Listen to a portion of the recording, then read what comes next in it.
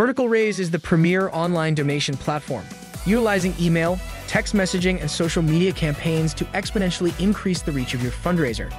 With detailed tracking and the complete personalization of every page, Vertical Raise provides an easy system that works.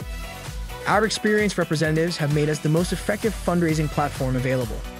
We look forward to the opportunity in helping elevate your program to the next level and reaching your goals. Visit online or call today.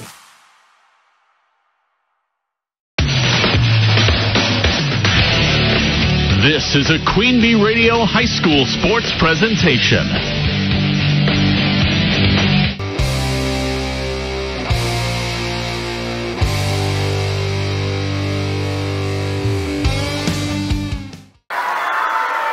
Looking for a three-set sweep of Aquinas in this sectional final, and Laney Rundy running jump serve coming up. And it'll be an ace! And the Cubans, for the first time since 2012, are headed back to the dance in Green Bay.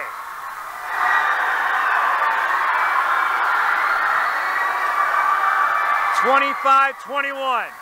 25-21. 26-24, the Cubans sweep the Blue Golds. And Cuba City off to the Resch Center in Green Bay. Coming up on Friday morning. Welcome to another edition of the Queen Bee Radio High School Sports Roundup presented by Vertical Raise Milwaukee.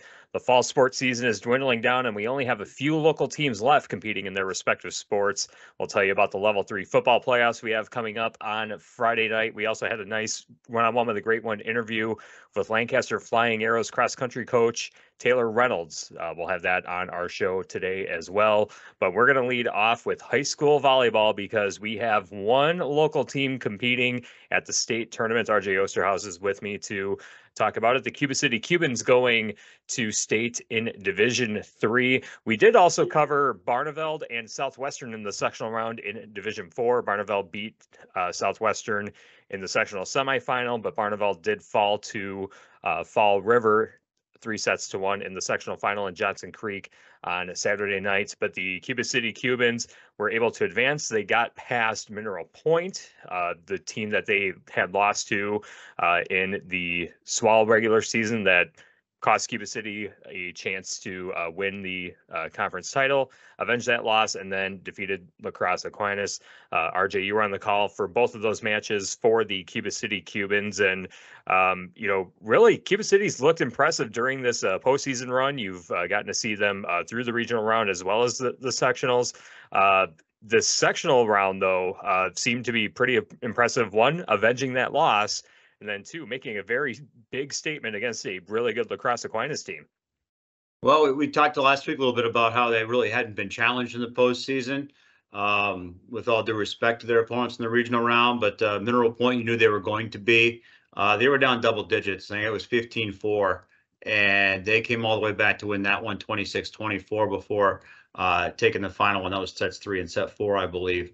But boy, Cuba City, uh, man, they uh, you wondered and talked to Kerry Lawson about it. I said, boy, when you see a team, it's going to be a turning point because you expend that much energy coming back.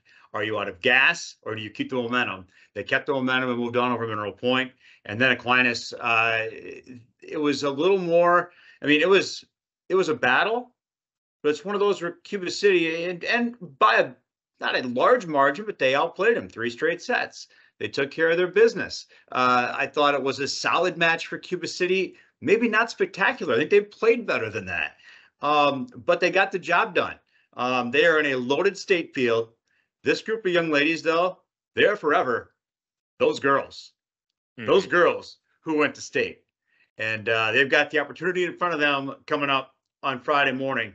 And I'm looking forward to it. It's a loaded state field. I say they, they're lined up uh, to face in the first round it'll be St. Croix Falls. They're the top ranked team in the state. However, the two seed uh, at state, they have two losses all year. One of them was to McDonell Central, who they beat in the sectional final to get here. The other one was to Rice Lake, who is competing at state in the session after them in Division Two. And this is the third time at state for St. Croix Falls. They uh, were there in 2020 as a Division two team, so they're kind of borderline enrollment or, or have been over the past three or four seasons here. And then last year they fell to Howard's Grove, who is the number one seed uh, at state this year. Uh, in the championship game last year, they fell to Howard's Grove. Howard's Grove, by the way, the other side, the one hosting the four or playing the four in St. Mary's Central on the opposite mat. They played the semifinals in two mats at once. So there's going to going to be dripping with talent, oozing with talent on the court, on the mats uh, coming up, courts, I should say. They're on the courts uh, coming up uh, on Friday, and just looking forward to it. Checking out the roster from a year ago for St. Croix Falls. A lot of these young ladies have unfinished business, uh, and just looking standout is uh, a senior, Kelsey Cooper, 5.6 kills a set.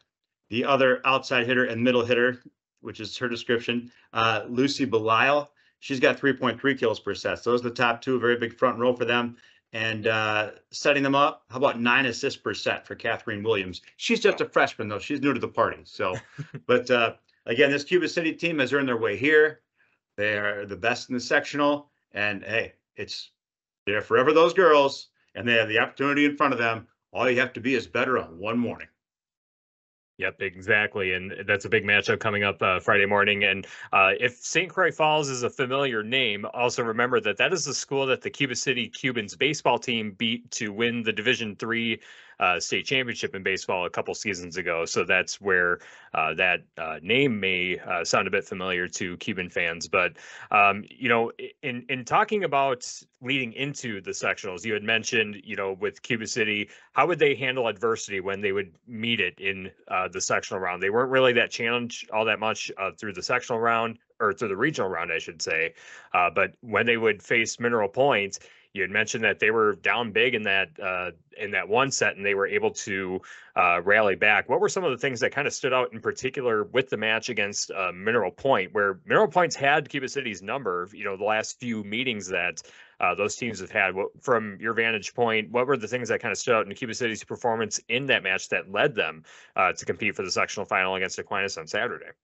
It's the grind. It's it's the don't quit, and you get to this level, everybody's good and Cuba City was not intimidated by that. They did not seem to care what happened previously in the year. Uh, obviously, these teams are familiar with each other, but it was just it's something about them is just so solid and so consistent, and that's what you love about this Cuba City team.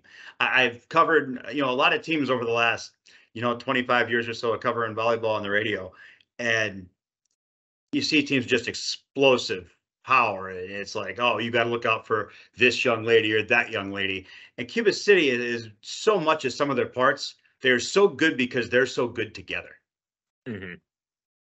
Yeah, it, it, it's a solid team all around. There's not really one star player or, or anything like that. It's everyone kind of does their parts. It's it's a well-oiled machine, so to speak, uh, with them. Just from the the bits and pieces that um, I've gotten to see. And um, I, I, think what's uh, kind of cool about this uh, Cubans team too is that they get the three seed. Um, you know, there might have been thoughts that they might get the four, but they are awarded the three seed. So, um, you know, a pretty realistic shot. You know, as far as um, the way that the seedings go. But uh, you had a chance to uh, you know talk with some of the girls and uh, talk with uh, Carrie Lawson after uh, the sectional uh, championship. I'm sure that's you know everyone was pretty chipper coming off the off the court, off the off the win. What do you think that uh, Coach Lawson and these girls are emphasizing heading into the state tournament coming up on Friday morning?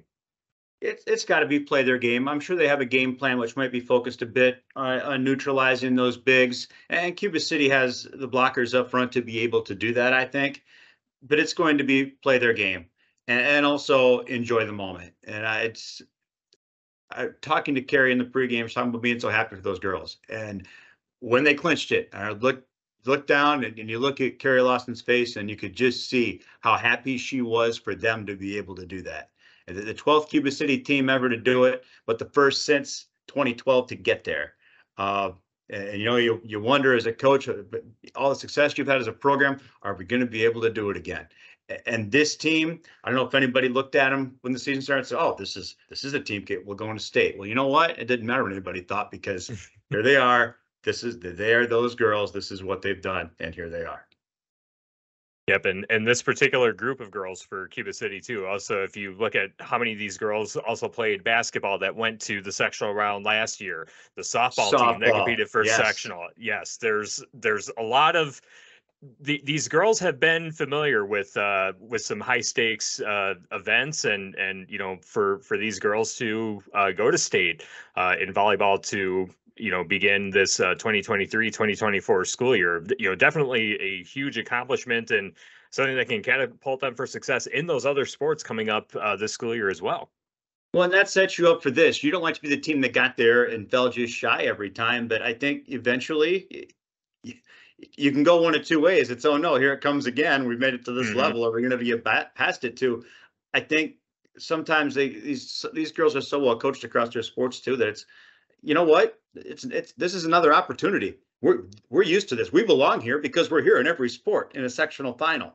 And it's a matter of just getting through again just like any, you, you got to be better than the other team for one night, regardless of what you're up against. They can have a lot going on. You never know what's going on. Everybody puts their their uh, spandex on one leg at a time. So Right. go out there and battle, and and is, these ladies have the opportunity. Yep, and the Cubans will be in action on Friday morning. We'll have the match on Super Hits 106. Raleigh Cheese pre-match coverage set for just after 11 o'clock. The first serve around 11:30, or depending on how soon the Division Four uh, matches uh, wrap up. That'll be from the Resch Center. RJ Osterhaus will have the call of that. And of course, if Cuba City does make it to the state championship, we will have that match on Saturday as well on Super Hits 106. Also, same uh, coverage time, 11 o'clock uh, pre-match and 11:30 first serve.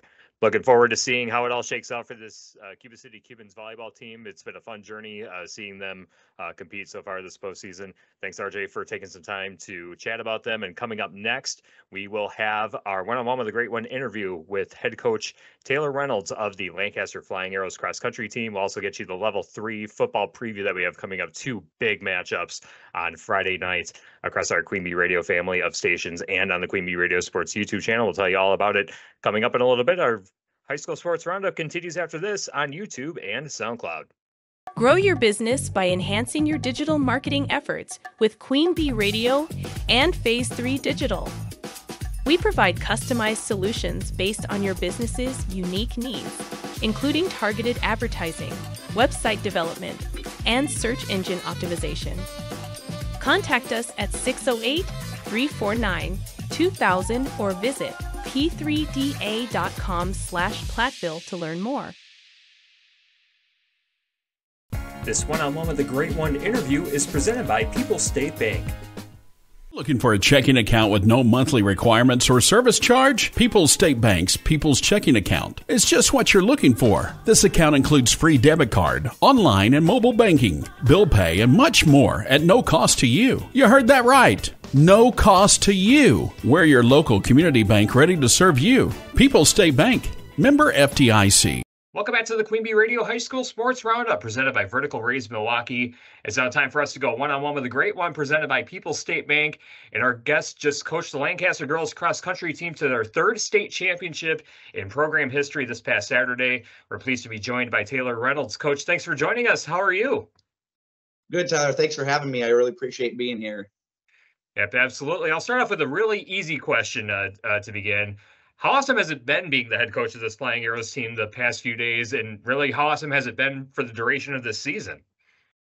Yeah, well, this is my 15th year as the head coach, and I've absolutely loved every every minute of it. It's just um, when you coach cross country, you're dealing with um, highly motivated student athletes. Um, they have good work ethics. Um, they have good attitudes. You don't sign up for this sport unless you have those characteristics. So it's been a joy from when I started and we were not super competitive to building the program um, to win a third state championship. We're just on cloud nine. It just uh, just the, the smiles don't stop. It's been just super super fun, especially these last few days. So absolute joy. Yeah, I would imagine. And it's been an incredible run, pun intended, for the girls team over the, the last almost uh, decade. Uh, seven straight appearances at state, eight appearances in the last nine years.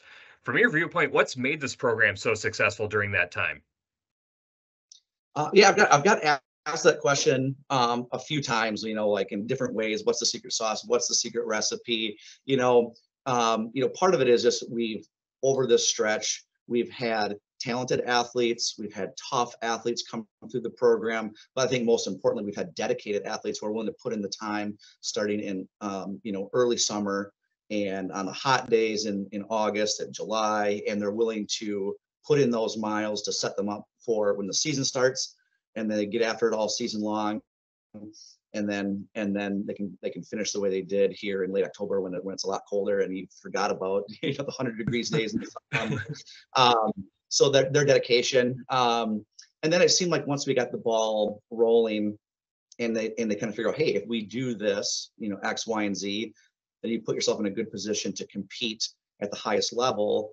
And over, I think the reason we've gone seven years in a row is uh, we've had leaders uh, show the example and, and, and set the tone of this is what it takes. And then you have freshmen and underclassmen coming in and joining the team each year and they see how it's done. And I, I stole the term from a coaching book, like shadowing excellence. So they just see it done at excellent level. So they just, that's all they know. They just do it. And then when they're leaders, they're setting the example and the next crop is coming in and they're shadowing excellence. So it's kind of snowballed over the last like seven, eight years in a really, really positive way. And it's been one heck of a ride. And uh, yeah, we just don't want it to stop. It's been really, really fun. I'm super proud of all our guys and girls for putting in all this hard work.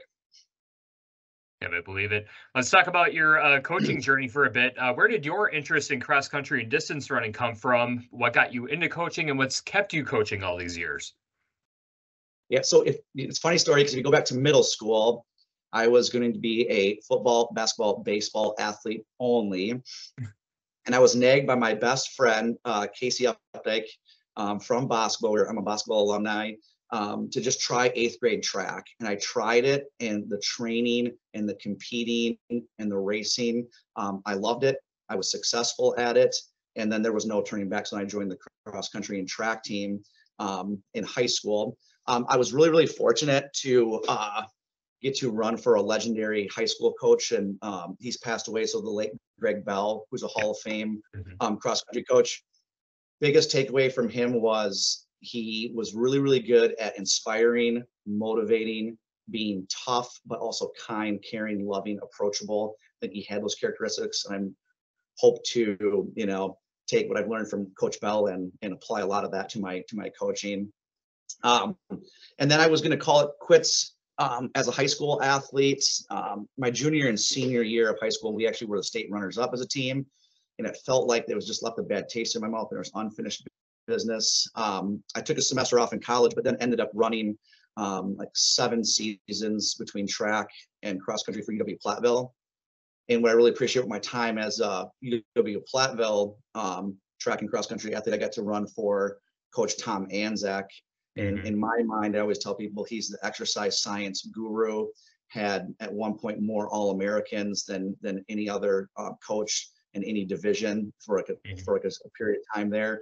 Um, so I use a lot of his training principles rooted in exercise science and his system, and, and it really really works. And, and I and, and the team we have a lot of confidence in our in our training system as well. So that was kind of uh, my my journey as a as an athlete. So then I got hired at Lancaster as a Ed teacher, and I taught middle school health and Ed for 10 years. Now I'm actually the middle school principal. Um, but um, my second year here, I was there was a, there was a vacancy for the high school cross country position, and this the first season was the the fall of 2009, and I took it, and I've been at it ever since. Yeah, it's really cool. And, and, you know, just hearing, you know, the, the two coaches that you had, you know, Coach Bell and Coach Antczak, like those are probably two of the most respected names, especially in Southwest Wisconsin from a uh, cross country standpoint. When you when you think back to, you know, maybe some of the advice or things that you've taken from them, what are some of the things that kind of stand out that um, either advice that they were given or things that you've kind of taken on as your own that kind of correlates to uh, your own uh, coaching journey? Yeah, oh, that's a good question. And I've never been asked that one before. Uh, I don't know if I have like uh, the specifics, um, and I'm kind of will kind of echo what I just said. Is I just I don't have like a specific story or an example I, I can think of off the top of my head, um, but just knowing like um, Coach Greg Bell's um, just his motivation, his toughness, his um, ability to inspire belief um, in athletes and hey we can do this. Hey we're the toughest. We're going to be the best. If we work hard we'll do this. Um, he was kind of like tough and in some ways intimidating and in some ways uh, a teddy bear you know you, you can just jump mm-hmm. on and uh, you know be wrestling with at the end of practice too so i think that was the biggest takeaway from coach bell and then um, coach Antczak i just appreciate everything he taught me i, I always tell people i went in um, to college thinking I knew a lot about distance running. I knew a lot about training. I came from a good program. And I always said, I, I thought I knew this much. Uh, and Coach Antczak taught me, you know, can't even fit on screen this much. And then I realized there's, there's this much I still don't know, and I still don't know that stuff. So it's kind of like the more you, the more you learn, the more you realize there's there's a lot more to it. So yeah, they were excellent coaches, and they the things that they taught me are a big part of our our program and our success and, and my ability to coach effectively Awesome. And I know that, you know, in addition to cross country, you coach uh, track and field distance running there, which is a pretty common thing that we see cross country coaches do. Uh, but having uh, been a distance runner myself, I know that there's a very distinct difference between cross country and and track and field. And with that in mind, what are some of the differences in the coaching methods that you have to use between coaching cross country and track? It they're two different animals. There's you know you're you're looking at I'm in track and I coach the the half milers and the 800 milers, two milers. So there's just a difference there. And then um, you know, even in practice um, with the throwers, and there's just so many more moving parts to track and field.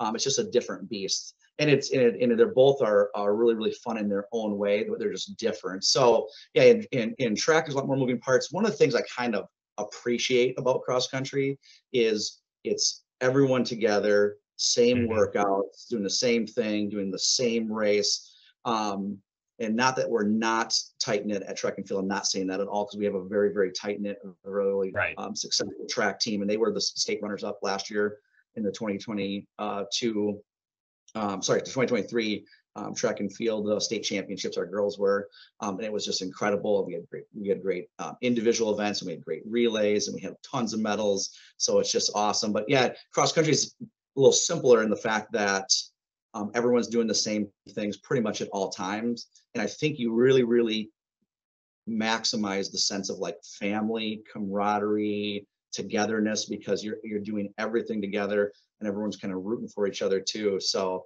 yeah, both are both are awesome. I love coaching both. Um, but they are yeah, there are different animals for sure. Yeah, but before we uh, close up, I wanted to ask you about uh, Mallory Olmstead uh, specifically. You know, she got to bookend her career um, with a state championship, um, you know, this year as well as the uh, state championship uh, won in 2020 as a freshman. Talk about how special she has been, and, and, really, you know, just from you know what I've read and you know kind of kept tabs on throughout the season, it really seems like she's kind of been the catalyst and the leader um, of this uh, Flying Arrows girls team. Talk about what she's meant and and how much that success that she's had translates to the rest of the team. Yeah, Mal- Mallory came in as a freshman and was super motivated and dedicated even at that point and has just continued to build her leadership. And she's meant everything um, to the last four years of this program. She's been um, she's been dedicated. She's been tough. She's been a, a, vocal leader. She's been a leader by example. Um, i'm just so thrilled and so proud that she could go out on top when she she was our number one runner uh, as a freshman all, all, the way through, and that was the COVID year where we had subsectionals mm-hmm. and, and then sectional. And she actually sustained a hip injury um, right after the subsectional. She she ran really really fast. She won her heat of it, and then at the sectional meet, um, she was in a lot of pain. She ran, and she was actually not the first time ever not our number one runner. And then at the state meet, when we gave her a full week's rest and even didn't even run her from sectionals to state. So the next time she ran after the sectional cooldown was the state warm up. Um, and she was in an incredibly amount, incredible amount of pain. It ended up being our fifth runner that day, but got it done so that she could, even though she was our fifth runner, she ran so incredibly tough to go through all that pain for us to win the title in 2020. And then I never mentioned it a lot to her, but in my head, I always said, like, I just don't want her freshman year to be um, the one highlight of her career. I want right. her to like. Mm-hmm. So um, to see her be able to lead a group of girls as our senior captain. Um, I remember just I, I, was jogging away from our starting box, box 22. I could hear her saying like two or three times as she was slapping hands, "We got this, girls. You're gonna rock it. You're gonna kick butt. We got this. We got this." And just reassuring them, let's get out there and and do our thing. And um, even right to the minute the gun went off, she was reassuring them and and leading them. So it was really really awesome. She also facilitates, you know, like um, after practice activities and let's go out to eat and let's come over here to our basement and stuff. So she's she's meant everything to our program over the last four years. So she'll be greatly missed. So Yep, absolutely. And then, you know, now that the now that the season's done, what's uh what's next for Coach Reynolds? What's going on during the the winter months before the uh track season picks up?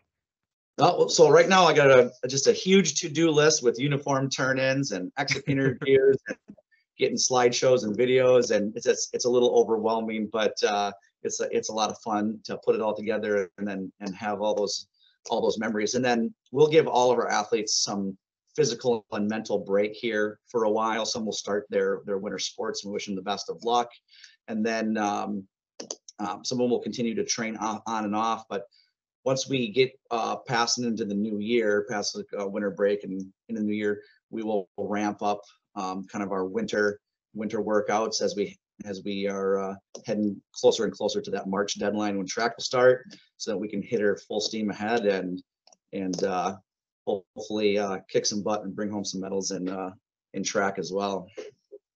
Yeah, absolutely. Well, thanks a lot for joining us, Coach. We appreciate the time. Congratulations again on the title. Uh, give our best to uh, uh, all the girls, the coaching staff, everyone uh, on the team that uh, made the team so successful. Uh, best of luck going forward and into the track and field season next spring. Yeah, thanks a ton. I appreciate you reaching out, and I am. it's just my pleasure to be here, and uh, thank you for the coverage. We really appreciate it. You have a good day. Yep, absolutely. That's head coach Taylor Reynolds of the Lancaster Flying Arrows cross country team. We'll have more in the high school sports roundup after this on YouTube and SoundCloud. Check out Suppz.com. Suppz is Southwest Wisconsin's go to supplement store. Find all your favorite supplement brands at the best prices from local people. Fuel your fitness journey. Suppz.com, your go to supplement store with locations in Fenimore and Dubuque. This week's highlight reel is presented by Suppz.com. Tyler Dictanis with you from the Wolf Construction broadcast booth here on 97.7 Country WGLR, the Queen Bee Radio Sports YouTube channel. Isabella Sullivan served, dug up in the back row by Layla Thiel. Push up to the front row, tapped over in the net. Great diving dig at the net. And a backwards bump for Brent Plessel sent it over to the southwestern side. Wildcats on the attack. Far side, gets it along the sideline. As Aaron Lassie will try to close it out for the Golden Eagles. Golden Eagle fans go to their feet, running jump serve. Just scrapes the top of the net. Bumped up by Deal, and it goes backwards. And Barneveld takes set number one, 25 16. Running jump serve, dug up by Plessel in the back. Ball pushed forward, teardropper sent back quickly. And Southwestern back with it on their side. Here's a setup in the middle. And Schneider taps it over, still kept alive by Barneveld. Here's the attack. And off the fingertips of Ava Kerwin. Match point for Barneveld. 24 serving 23. Keely Ormond serving.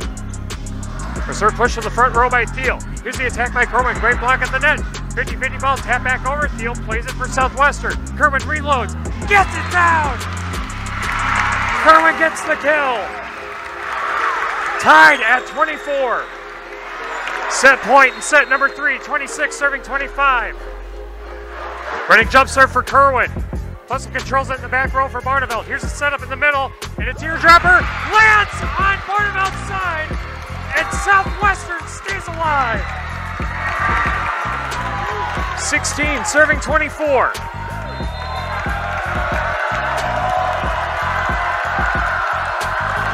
Kerwin sends it over, dug up in the back row. Set up on the near side attack, dug up in the back by Southwestern. Set in the middle, pushed over on the third hit. Bent it on their side of the floor. Here's the attack, far side, great block at the net. Popped up and still kept alive by Barneveld. And a right-handed hit sends it over to the southwestern side. Wildcats played along the front row. Here's the setup, Tapper sent over to Barneveld. Here's a set, right-handed send over. A set, backwards bump, and a tap over back to Barneveld. Bump hit, kept alive, and a bump will keep it alive for Southwestern. Barneveld plays it on their side. Here's the set in the middle. Here's the attack. They're going to dump for the kill.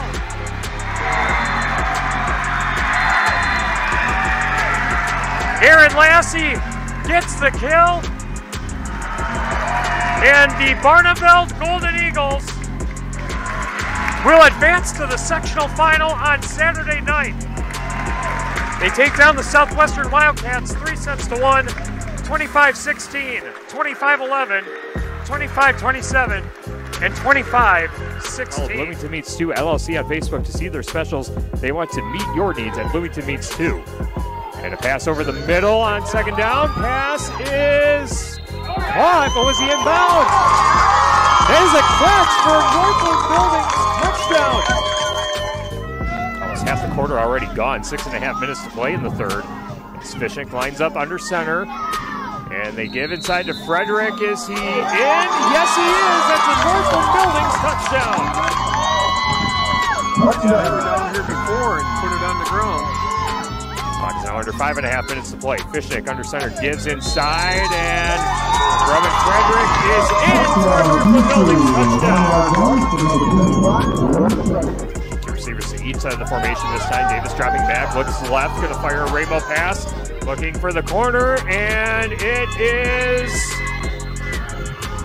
They're going to say that's caught, and that is a Northland Buildings touchdown. I think that was Ty Adrian, number 12. My goodness, what a catch by Ty Adrian. It's 24 serving 20, set point. The Barneveld crowd comes to its feet. Daisy Hanson serves. It's a liner dug up in the back row. Here's a setup in the middle, and the attack dug up by Hanson. Set up, attack on the near side, hits the sideline, and Barneveld takes set number one. Vanessa Schmitz gets the kill, and it's 25 20. Barneveld taking set number one from Fall River. Action picks up, set point for Fall River.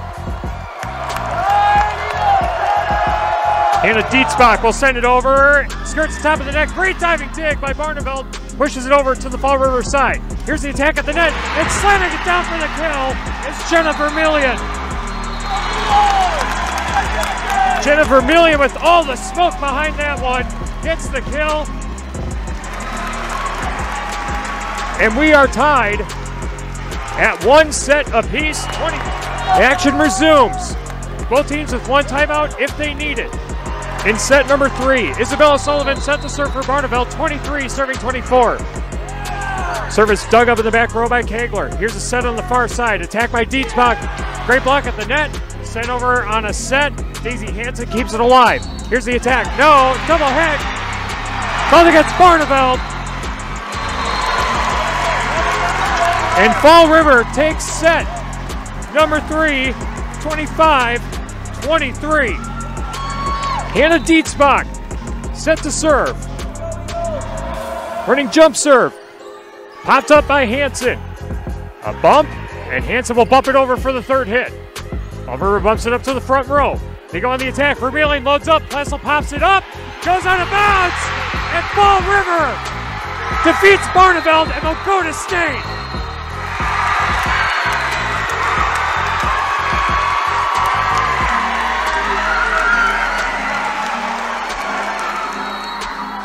And Alexis Rundy backcourt middle. Line across. Forwarded up midcourt left. Forward set, front left. Four across. Dug forward by Olson. A bump set, front left. Vosberg across. And a side bump by Davis gets a return. Dug out by Olson. Back set McKinley for Kraus. Spike and the kill for the Cubans. 25-21. It was Dutch Cuban City. Takes set number one. 25-21. 21 serving 24. Aquinas with no margin of error here in set two. As the Cubans try to go up two sets to nothing. Served by Davis. That's allowed to go deep service error. Cubans take set one 25-21 and set two 25-21. Cuba City looking for a three-set sweep in a sectional final. Aquinas will try to have something to say about it coming up around the corner. 24 all, you must win by two if you're new to the situation in volleyball. Miskowski running jump serve for Aquinas. Ball popped forward by Olson. Forward set, front left. Vosberg to spike in the kill. Ella Vosberg. And now set point, match point again for Cuba City. Laney Rundy is going back to serve. Looking for a three-set sweep of Aquinas in this sectional final, and Laney Rundy running jump serve coming up. It'll be an ace! And the Cubans, for the first time since 2012, are headed back to the dance in Green Bay.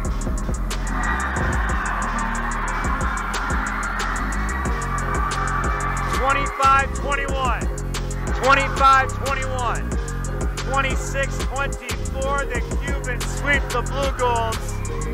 And Cuba City off to the Resch Center in Green Bay. Coming up on Friday morning.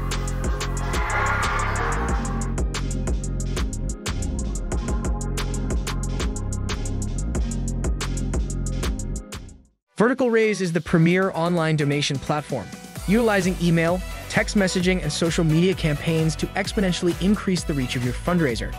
With detailed tracking and the complete personalization of every page, Vertical Raise provides an easy system that works. Our experienced representatives have made us the most effective fundraising platform available. We look forward to the opportunity in helping elevate your program to the next level and reaching your goals. Visit online or call today. Back on the QueenB Radio High School Sports Roundup, presented by Vertical Raise Milwaukee. It's now time to talk playoff football with our QueenB Radio Sports broadcasters. I'm now joined by Josh Wiederholtz, Wally Trouton, and Mark Evenstad. The four of us have the two football games that we'll have on QueenB Radio coming up on Friday night. A big matchup in Division Six. Lancaster at Darlington. We'll have that one on 97.7 Country WGLR. And then in Division 7, Potosi Cassville hosting Blackhawk Warren. Two very fun matchups uh, coming up on Friday night. But let's talk about what we saw first. Uh, in the level two playoff, there are some sad Platteville truthers among us. One of them not uh, on this uh, show because he is currently working and uh, calling Galena Pirates volleyball. So, um, unfortunately, our token Platteville truther, Steve Prestigard, won't be able to give his insights. But Josh Wiederholtz, you were there uh, for the matchup against Lakeside Lutheran in level two. Lakeside Lutheran coming away with a 28 to 7 win uh, over the Hillmen. Um, and one of the things that stood out to me as far as uh, your uh, kind of insight on it, Josh, was uh, Lakeside Lutheran's offensive line is big and they ran the ball a lot uh, behind it. Uh, talk a little bit about uh, what you saw from uh, that Lakeside Lutheran win over the Hillmen last Friday night. And you're absolutely right. And not just their offensive line being big, they were about 6'5, 275 across. Their tight end, also 6'5, 265. their quarterback, who threw the ball three times all night, six four like 180 and yeah they they had a game plan against our Hillmen and they executed it um we've covered the hillmen all season long and they're dangerous. We've seen it when they have the ball. And lakeside lutheran realized that they ran the ball 57 times for 378 yards in the game and pretty just just a ball control game. The two times they did pass myron ryder had a great game defending um, two interceptions off of three passing attempts from Lakeside Lutheran, and really hard game for Platteville to get in and going. Uh, they scored on an early drive to Lucas Ludlam, ended up with four catches for 66 yards and a touchdown. TJ Pink, all intents and purposes, had a good game 13 of 24, 151 yards and that touchdown. It's just, we're used to seeing him throw the ball 35, 40 times a game, not 24. And yeah, Lakeside Lutheran just executed really well. And Coach Arneson, I mean, nothing to nothing these guys and Coach Arneson, nothing to really hang your head about. Great season. Weren't who would have expected to be playing a level two home playoff game at the awesome new facilities and great job altogether by the Hillmen, outright conference champs. I mean, just didn't fall their way last Friday night. Yep, and Wally, you you were one of those people at the very beginning of the season saying, you know, look out for Platteville. They're not one of those teams that were going to be finishing in the middle of the pack, uh, as originally thought. You know, a very successful season uh, for this program. Uh, when you kind of you know remember this 2023 team, what are the things that uh, that stand out, and you know, just the historical context of how great this team actually was? So much yeah, so many questions are all tied together in there uh, the big thing I think right away when you look at the Platteville team, the only thing they had trouble with all year long was a big line against them. It's the only place they had trouble. You know, you you look back at Jefferson, they had the one really big lineman and a good running back that would and they would they would end up and they would go on balance line with all their big guys together to try to make use of their their size. And fortunately, Platteville was had enough speed and and and they could counter it in in just a small amount. But again, look what happened against Lancaster. If Lancaster could have dominated the line of scrimmage the whole game and just ran the ball and just kind of kept plugging away, they would have won the game. But see, they could they didn't do that. They ended up and they did other things, and Platteville was able to get stops, enough stops that they could go back and put points on the board right with them and that's the thing that really bothered them more than anything. And again, you, you look at here, here's a big team, big offensive line. What did they do? They dominated up front to won the game. And that's where Platteville had the biggest problem. It isn't that the skill of the guys that are up front for Platteville. Skill is fine. I mm, mean, Definitely. they're making the right moves. They're going the right places. They're doing the right things. But let's face it, if you're 195, 210 pounds and you're going against 260 and 270, you don't have a chance. You really don't. Um, I think it's tremendous that they were able to do enough, a good job up front, blocking on pass plays to be able to throw the ball as well as they did. Um, unfortunately, you can't get your, your speedy running back going under those kinds of circumstances.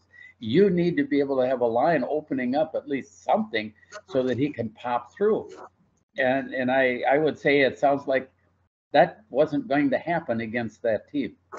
Yep, and we when we saw that as a general, you know, to kind of the other thing and and about Platteville coming kind of almost from nowhere in a lot of people's minds. Why?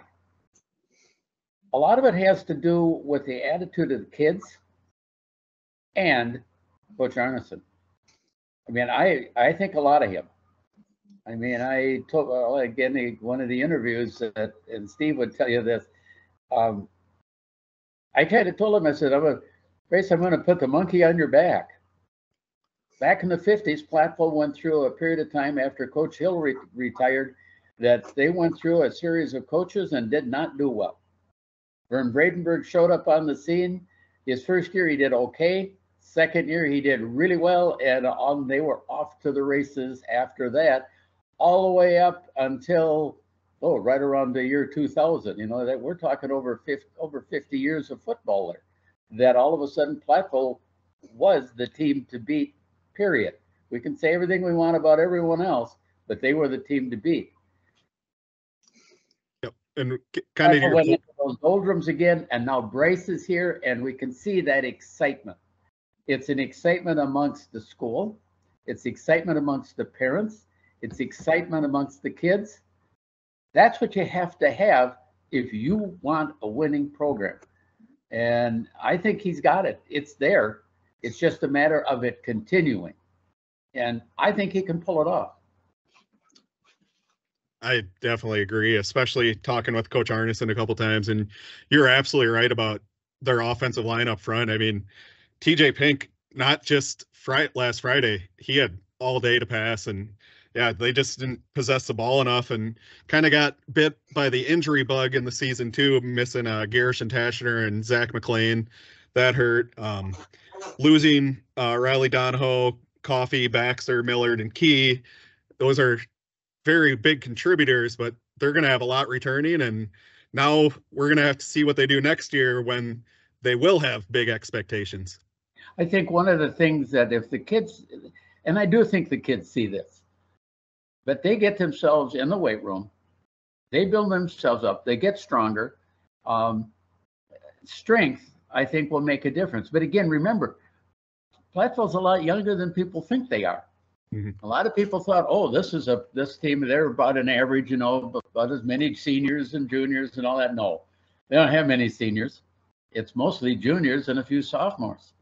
That's really what they are. And as long as they can continue to build on what they've got, I think they're going to be tougher than nails next year.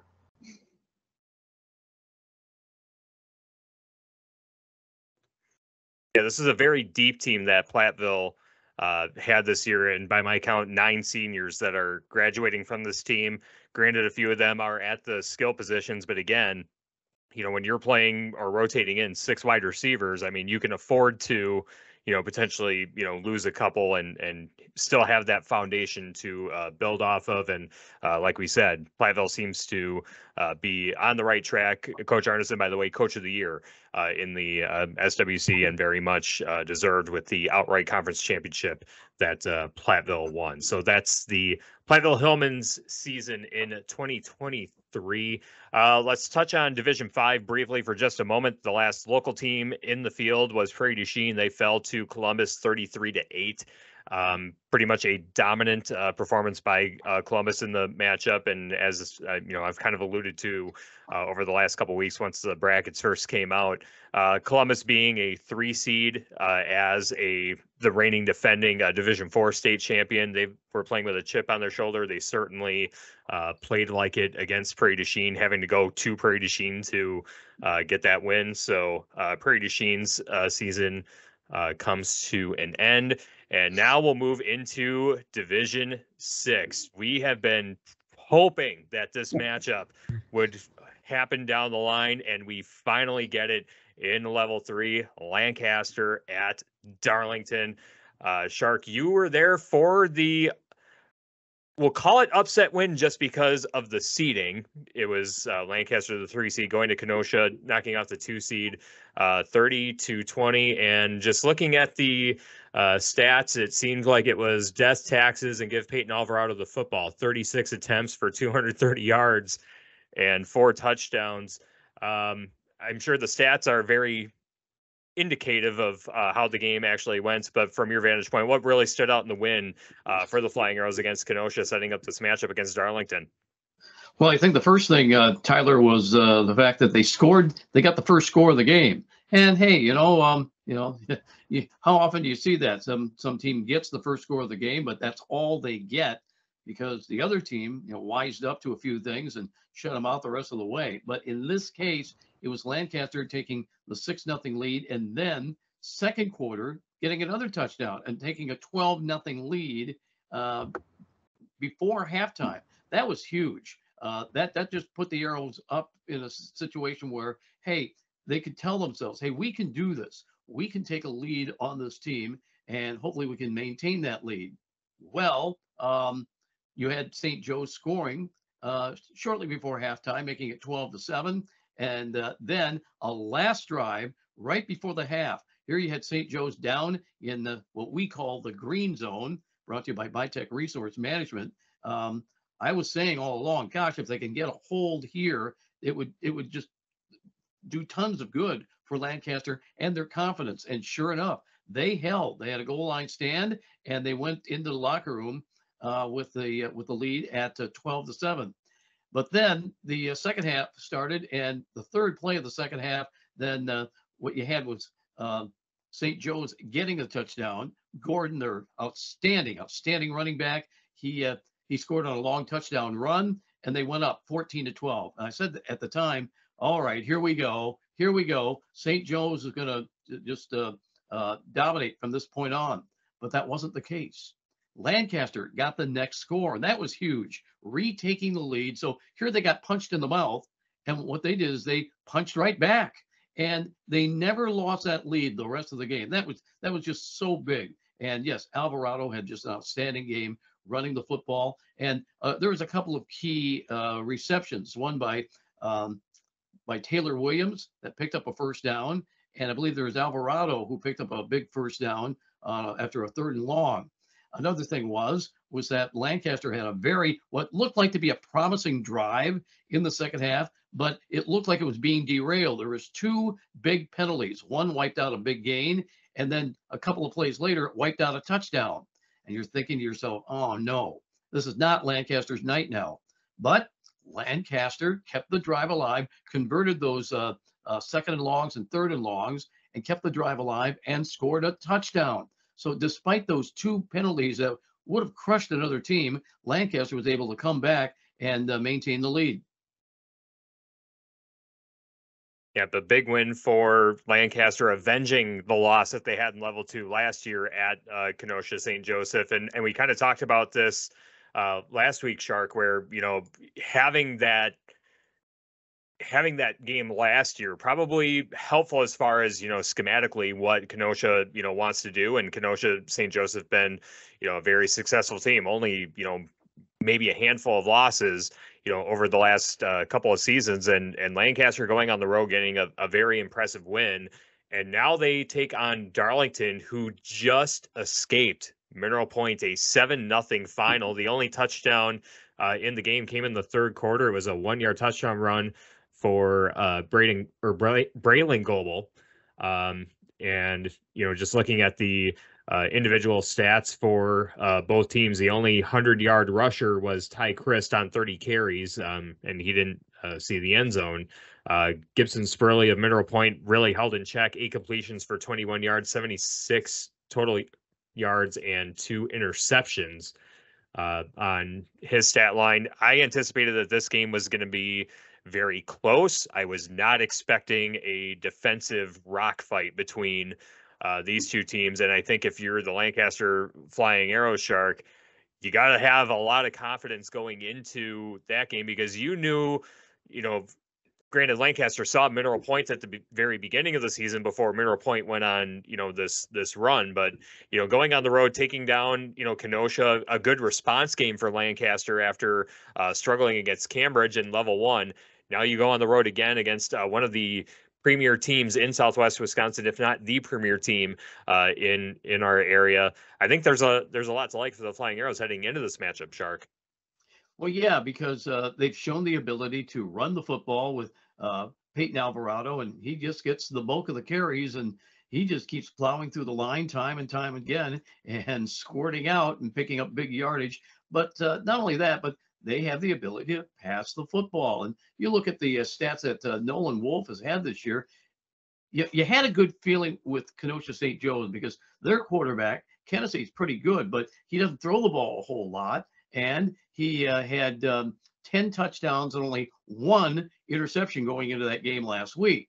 Well, Nolan Wolf has 15 passing touchdowns and only two interceptions on the season. So you kind of think that the, those two matched up. So will Nolan won't be able to put up really good numbers again against Darlington? Well, that remains to be seen because of Darlington's defense, and they're certainly known for that. But uh, th- these two teams are very comparable with each other. Like, for instance, uh, Lancaster, um, passing wise, they're passing for 109.9 yards per game and rushing for 268 yards per game. Darlington, meanwhile, passing they pass for 118 yards per game, and they are running the football at 285 yards per game. So they're very comparable. These are almost mirror images of the two teams when it comes to offense and defense. Yep, absolutely. And and just a noteworthy uh, tidbit about this uh, game too is that uh, going back to 1989, when these two teams have gone head to head, they've met 16 times. It is dead tied, eight to eight. you know, between these two, it, it is going to be an awesome, awesome game. We're going to have that one on 97.7 Country WGLR and technology pending on the QueenB Radio Sports YouTube channel. We're hoping that we can get that on our you know, YouTube stream as well. Go ahead, Wally. One thing that I think about it, and people tend to do this, you tend to look at you know, who you've played, common opponents, you know, that type of a thing, and how did it go against them, and on and on and on. I learned a long time ago, you can't take any stock in that.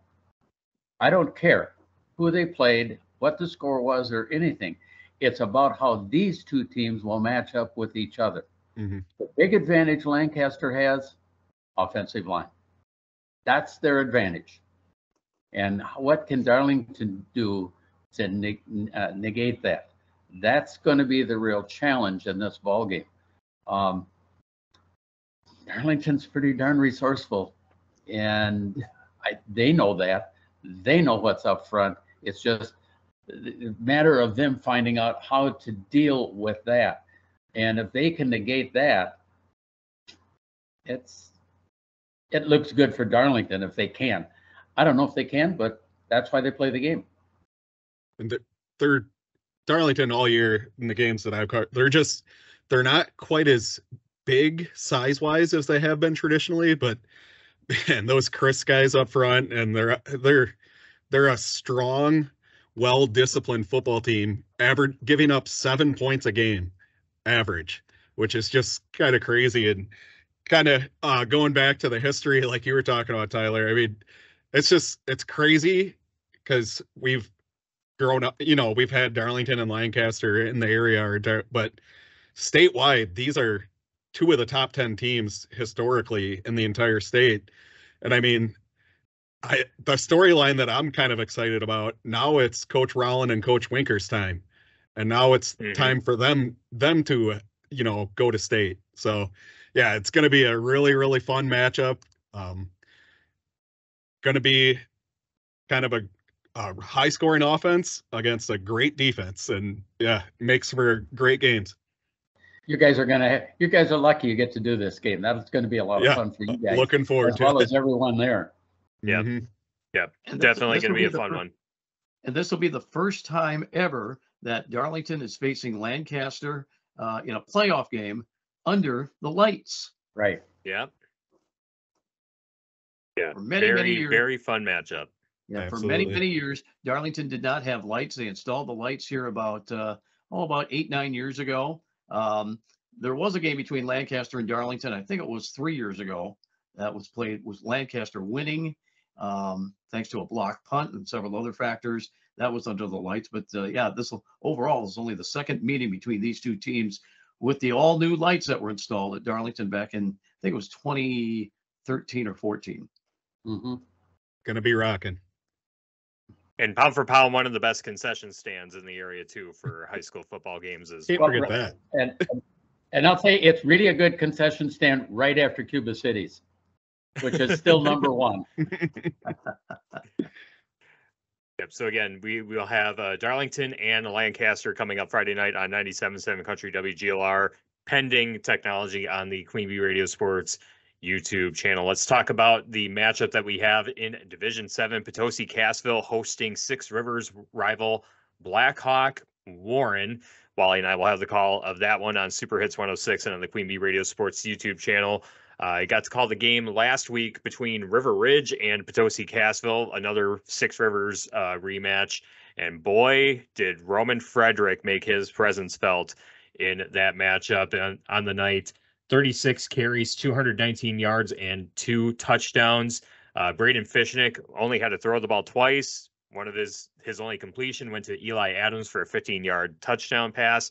The big thing for River Ridge in the matchup was that Andrew Nice he had that uh, leg injury to end the game against Highland in level one. He was a game time decision. And when I mean game time decision, I mean we found out at kickoff whether or not he was going to play.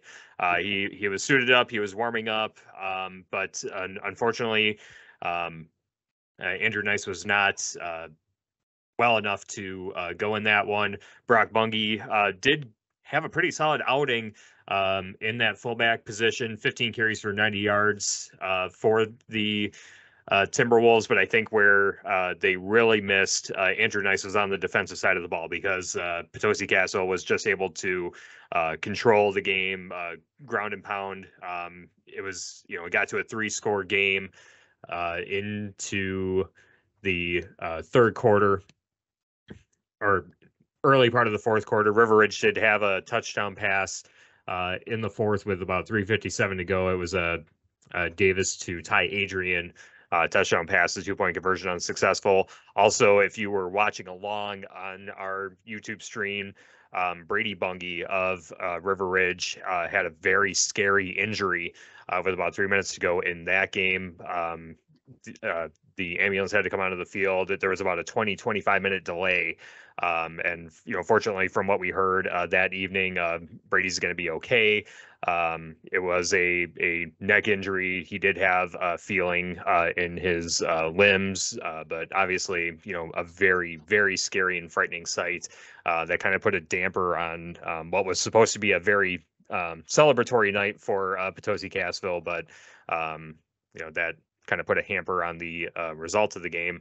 Uh, but Potosi Cassville does advance to level three, and they get uh, Blackhawk Warren, who defeated Johnson Creek. Um, had to go to Johnson Creek to uh, get the win in that matchup. As I had the stats up here, but now I don't. Where did they go? But Blackhawk was uh, just absolutely dominant uh, in the matchup um, scored 32 points in the second quarter alone against uh, uh, Johnson Creek. Uh, looking at the uh, individual stats, um, Lane Marty with 120 yards rushing, two touchdowns. Owen Sefrud, 118 yards and a touchdown. Um, Eli Schlem, four of eight passing, 77 yards and one touchdown. Um, we talked about how well these uh, Southwest Wisconsin teams, particularly in the Six Rivers in Division Seven, um, those that style of football travels well, and it certainly did. Uh, heading across the state against uh, Johnson Creek to uh, get the win, and it sets up a rematch between uh, Potosi Cassville and Blackhawk Warren. Potosi Cassville winning the uh, regular season matchup, forty-one to twenty.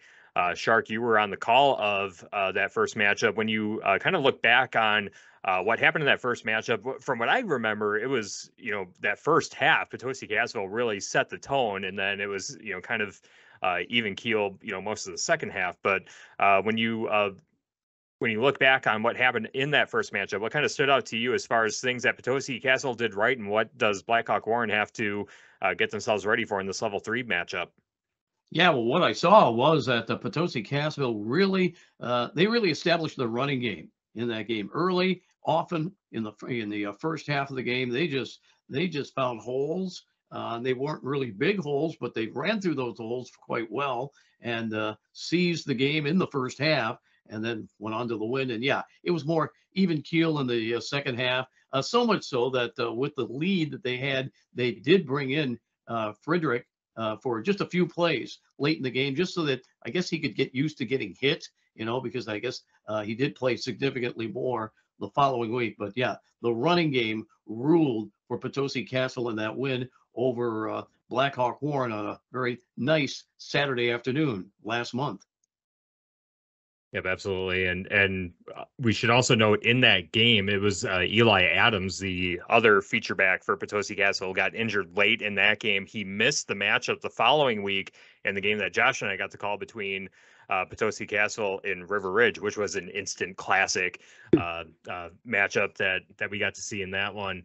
Um, Josh, you know when when you and I got to see Potosi Cassville, I mean, it was different as far as what Potosi Cassville probably wanted to do offensively. You know, just having to rely on uh, Logan Roush and Joe Haas to uh, kind of be the ball carriers and kind of help you know run this offense. But you know, give shout outs to uh, uh, Braden Fishnick who helped uh, Potosi Cassville dig out that win against uh, River Ridge and keep uh, their outright conference championship.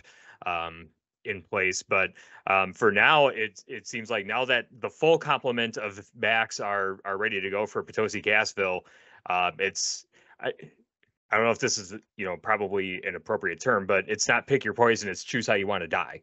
You know, which running back do you want to uh, have run it down your throat? And uh, once uh, once Roman Frederick got going against River Ridge, I mean, it was it, it's a completely different dynamic as far as uh, what Potosi Cassville uh, wants to do. And I think that that's a very welcome sight, especially where they're at in this point in the season to have someone as dependable and reliable as Roman Frederick back in the mix. Definitely. You know, I want yep. to kind of go, oh, along with that. I, I'm looking back at the, the stats of that game. And as you look at the stats, there isn't any doubt who won the game. I mean, they dominated in every aspect of it. When it came to first downs, way ahead. When it came to passing yards, they were ahead, although neither one wanted to throw the ball. Um, running the football, it was all Potosi. Uh, defensively, it was again wide, all the way across the line. It was different people making all the taxes, so no one had a lot. It was everyone contributing. Or if you look at Blackhawk Warren, you've got about three or four guys in there that had multiple, you know, up into close to being involved in 10 tackles. You didn't see that on the Potosi side, which again is saying you got everyone involved. Um, Blackhawk Warren's going to have their hands full again.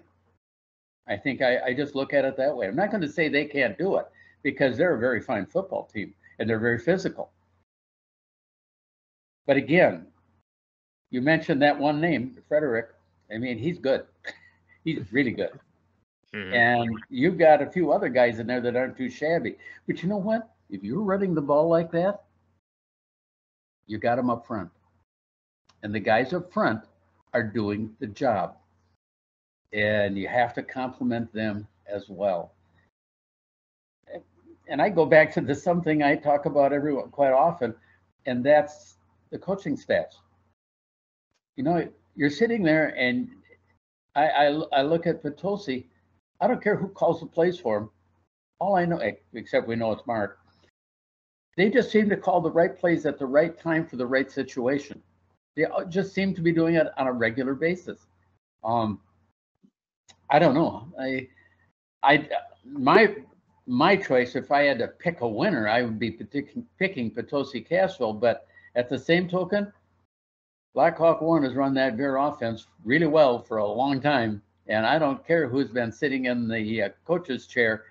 It's been going on for a long time, and they've been very successful all the way through. Yep, Josh, go ahead.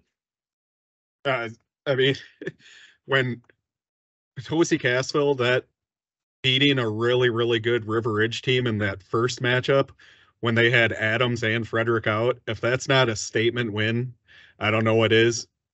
I mean, because that game proved uh, Fishnick can run the ball, but now having Adams and Frederick back and able being able to pull out that win without those guys, man, that they're getting healthy at the right time, and that's what you need in the playoffs. Yeah, you know, since I'm calling the game, I'm not gonna gonna pick a winner. But the thing that I'm gonna look for heading into this one is how fast does Potosi Cassville start? Because if Potosi Cassville jumps out to a big lead, as good as that offense is for Blackhawk Warren, uh, Steve Pressegard mentioned this, you know, a couple different times during during our show that it's not really an offense that's conducive to getting you back into games if you're if you're down behind. If you need points, you know, if you don't have a you know sustained passing attack, you can't really uh, do that much. Whereas Potosi Cassville, we know that they have a number of uh, different options that they can go to um, you know, outside of the two uh, running backs that have uh, carried the workload. So, um, so yeah, I'm I'm very curious to see how quickly Potosi Cassville jumps out to the lead, and and you know, Shark, you saw that firsthand. I mean, Potosi Cassville jumped out to a big lead to begin the game, and and they were able to uh, maintain it. It's in uh, Potosi Cassville's uh, home field. Uh, looking forward to seeing how that one shakes out on Friday night again. Wally and I will have the call of that one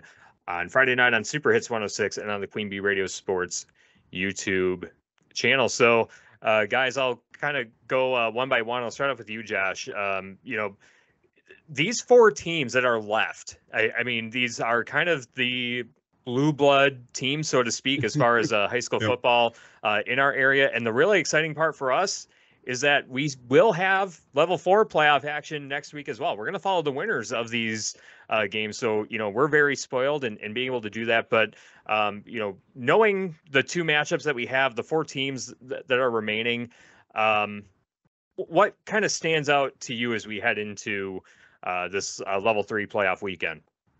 Uh, and you you hit the nail on the head. I mean, these are kind of they're they're legacy teams, which is mm-hmm. awesome. And um, I I think a really awesome storyline, especially in the game that Shark and I are covering, is uh, Coach Rowland and Coach Winkers are both. This is a legacy I mean, they've already had good success, but this is like this is one of those wins that, and it's cliche, but you talk about it 20 years from now, and Mhm. I that's just awesome and a really good matchup in the game you guys are covering. And it's just kind of we saw it coming all season long with just the quality of play of the teams in this area. And now it's finally coming to a head, and it's very very exciting.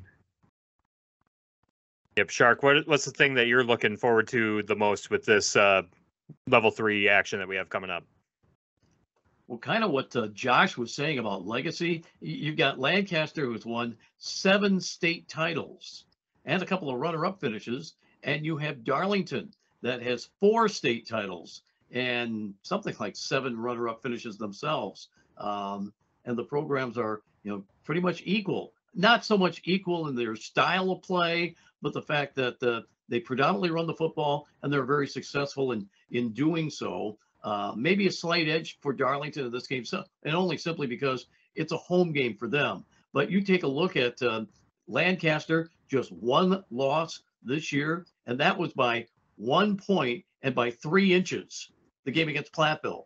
Darlington, their only loss this year to Prairie du Chien by two points. And with with Darlington rallying in the fourth quarter and missing out on a two point extra point that could have tied that game. So yeah, the two teams are pretty much even in that department. Um, we'll see how well they run the football as far as passing the football. They're both having success doing it. Lancaster's not known as a passing team, but boy, this year um, they're getting it done. And Darlington, not known as a passing team, but they too simply getting it done. But look for the run, the, the running attack of each team, what they do. Can Darlington stop Peyton Alvarado? Hard to say. Nobody stopped them so far this year. And uh, Lancaster, they get or, uh, Lancaster's defense. Who are they going to want to stop? Because Darlington seems to have a really good stable of running backs on their side of the ball. Yeah, you hit a point that's very interesting, Shark, in that both teams are a two point conversion away from being undefeated. You, you know, th- Yeah. th- that's a really hard hard thing to you, know kind of think about, and then you know how different does the playoff picture, how different does the conference picture, y- you know, look drastically. And we when we say it's a game of inches, we truly mean it is a game of inches. Yep. And and you know, like you guys said, th- this matchup, the the legacy matchup between these teams, it's it's kind of like you know a a Duke and a Kentucky meeting in the NCAA tournament in the Final Four. Like it's it's that you know type of quality matchup. Two very strong uh, football programs. Their fan bases are you know devoted and diehard, and it's it's going to be uh, electric for you guys on on Friday night at Martins Field. And uh, Wally, the thing you're looking forward to most in uh, Level Three coming up on Friday night. You know, the, the thing I guess I look at first is just the idea of the four teams that are at this level in this from this area right now.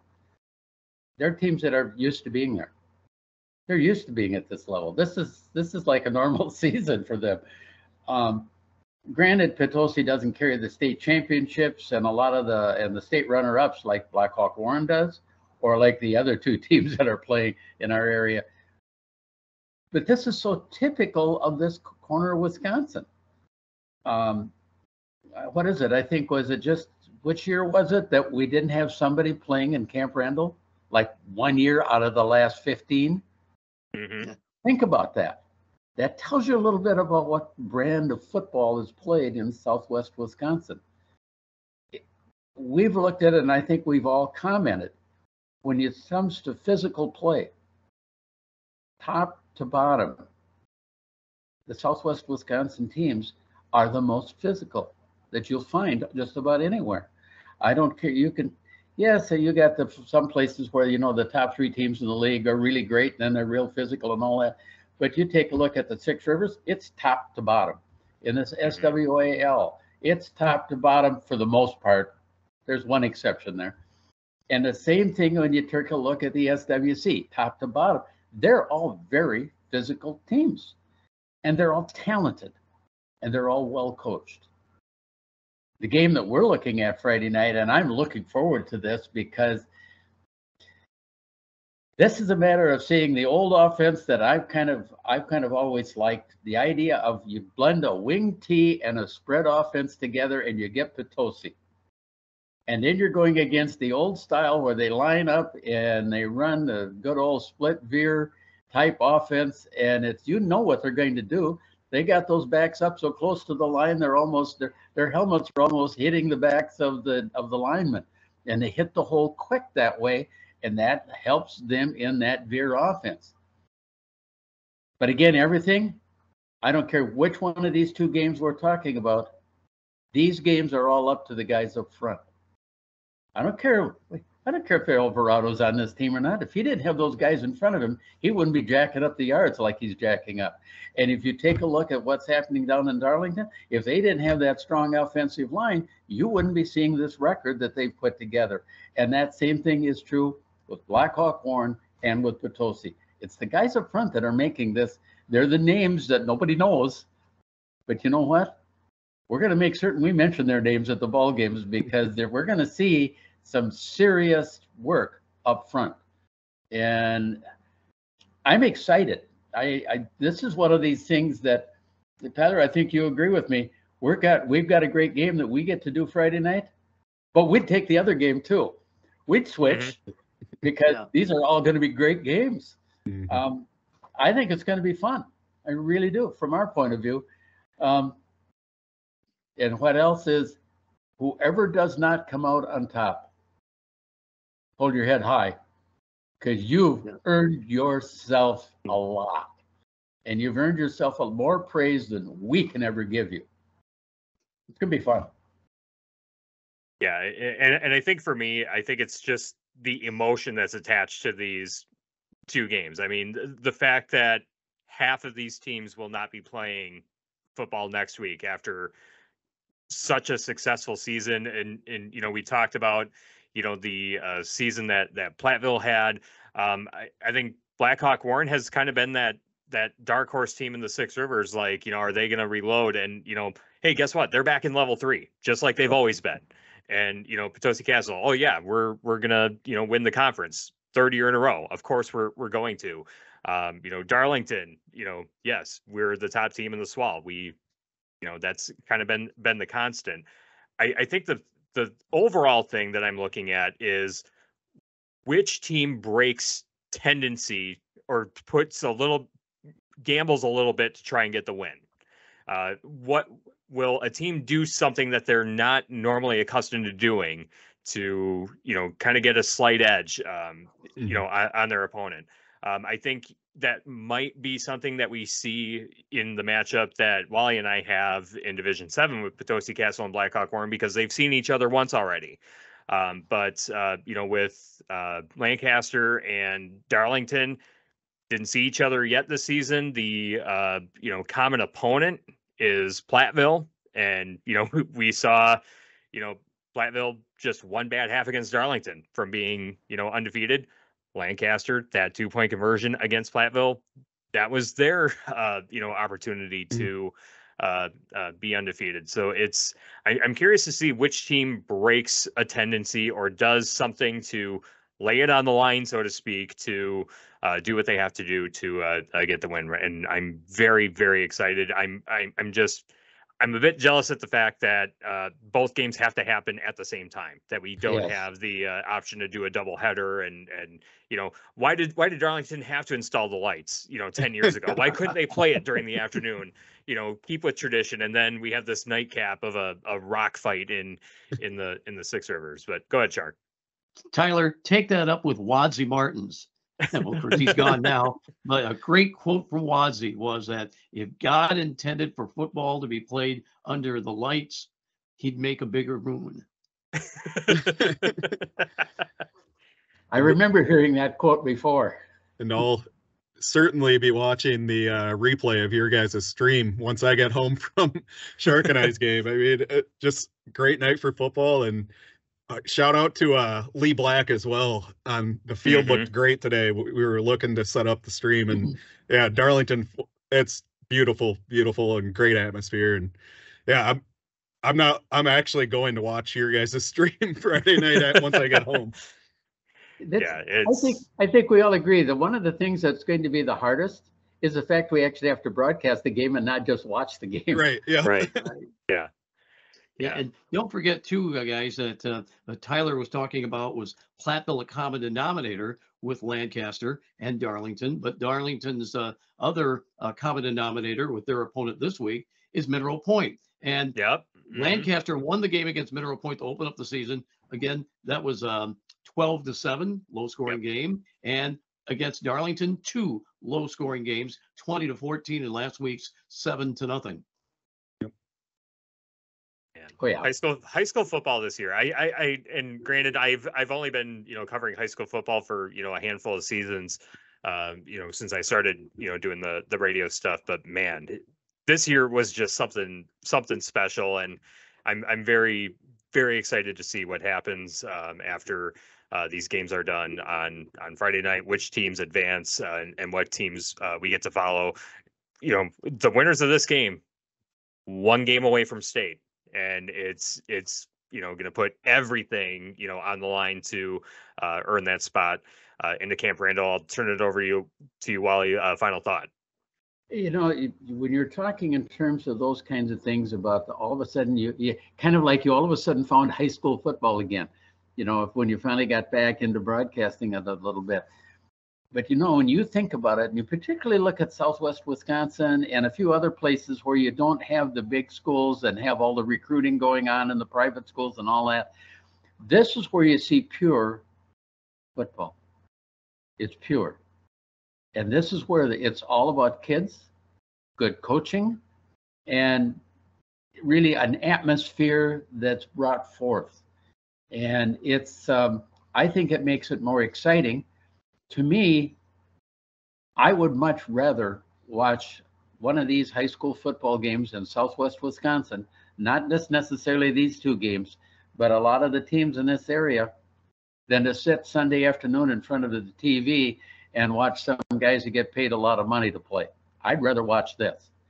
Just Mhm. the same as I'd rather be at at the Division Three college stadium on Saturday afternoon than to be in a big Big Ten stadium or any other major college, because again, it's more, more pure than what we see in all of this other stuff. Uh, I'm excited for these kids to have this opportunity to do this. And you know, if you've ever been involved with a, a program when you were in school that had success like this, you you look back and you say, I'm glad these kids are having this chance too. You know, because mm. I, I couldn't play in high school because I wasn't any good. But I turned around and we had really fantastic teams. And I saw what that did to the school, what that did to all of these guys, and how it how it helped them. And I look at seeing that's what we're seeing in Southwest Wisconsin as a general rule with our kids in this area that are playing.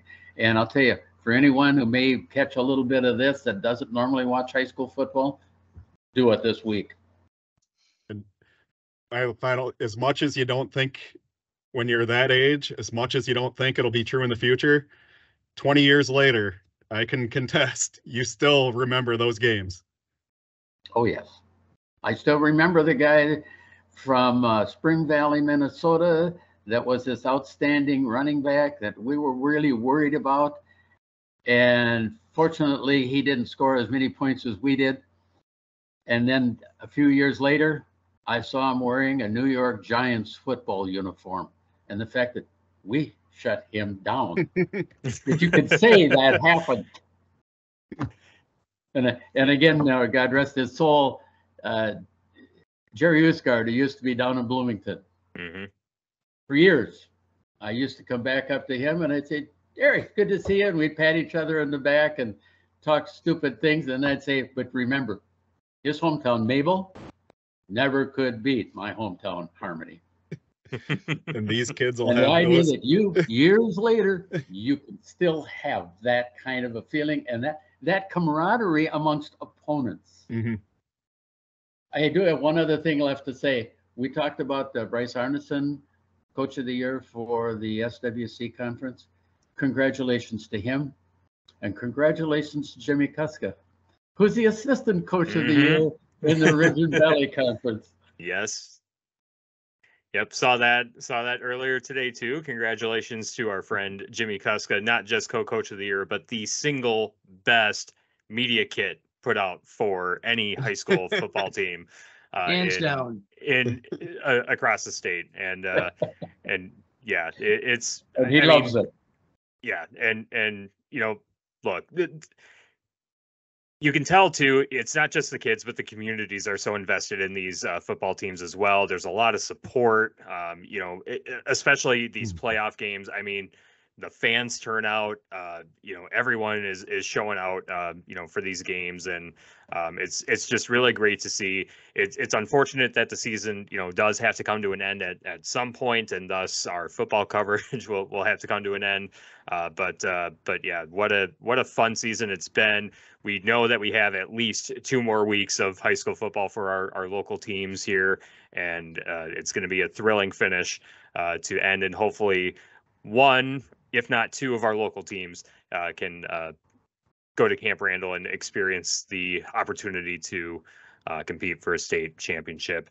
Thank you, Josh Wiederholt. Thank you, Mark Evenstad. Thank you, Wally Trouton, for chatting with our with us about our uh, high school football coverage again on Friday night. Uh, Lancaster at Darlington on 97.7 Country WGLR most likely on the QueenB Radio Sports YouTube channel. And then we also have Potosi Cassville hosting Blackhawk Warren on Super Hits 106. That will be on the QueenB Radio Sports YouTube channel for sure. Thank you, gentlemen, again for uh, taking some time to chat with us. And that is this week's episode of the QueenB Radio High School Sports Roundup. We'll see you next week for another edition on Thursday.